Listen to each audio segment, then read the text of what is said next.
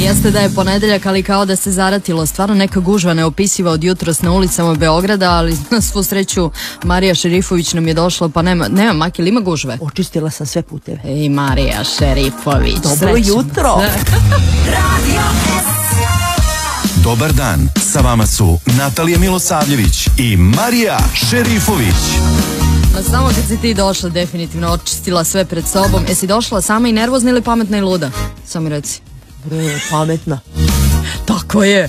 Samo Vidi, tako. Poslije 150 godina sam se probudila u pola devet, tako da ako danas ne izađe sva in- inteligencija iz mene, ništa nismo uradili. I prošli put si mi to rekla, ljudi šta vi meni radite. Šta ćeš kad se radio prvo sluša pa posle se svi prebace na TV?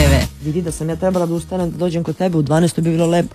Ali, Ali- ja dolazim sa jutarnjeg programa. E da, bili smo tamo kod Jovani i Srđana, gledali smo te sve. Kakav je pas? Pas je Zašto strašan. nisi dovela haka?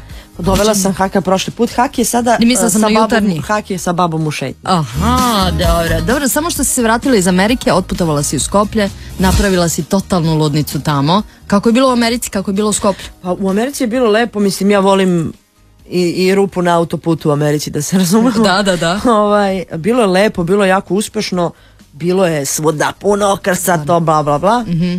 Ovaj, e, vratila se i eto, bukvalno u, u, u naredna dva dana otišla u Skoplje, imala Ali stvarno kakva je slika Jest. sa, iz arene u Skoplju, Boris Trajkovski, To je popaljene sve ludilo. telefoni, ludilo. Stvarno je bilo bilo- dobro. baš je bilo Stvarno. ludilo, Čula sam autobusi dolaze iz raznih gradova ovaj, Jest, Makedonije bila. jest, jest. Istina, istina.